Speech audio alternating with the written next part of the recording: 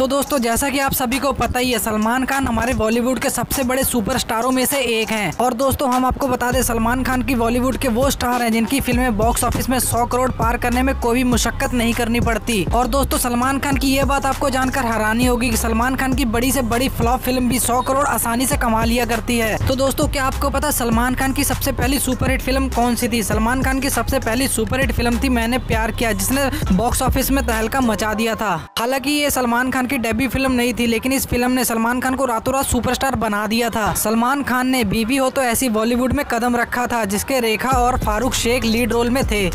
जी के बिहारी निर्देशित ये फ़िल्म फैमिली ड्रामा थी, जिनकी कहानी घर घर की बहू रेखा के इर्द गिर्द थी और सलमान खान नक्चड़े तेवर में रोल में थे। तो दोस्तों, सलमान खान ने अपने एक इंटरव्यू में बताया था कि मैंने वो स्क्रिप्ट पढ़कर और सुनकर उस पिक्चर के लिए साइन किया था। और सलमान खान ने अपने इंटरव्यू में ये भी कहा था, मैंने दुआई मांगी। मेरे ख्याल से मैं पहला व्यक्ति रहूँगा इस प्लेनेट पर जिसने अपनी पहली पिक्चर के लिए आदमी दुआएँ मांग रहा है।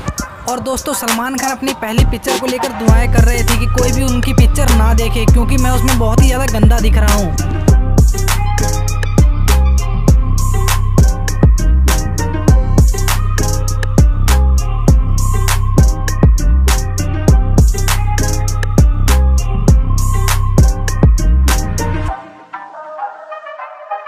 Música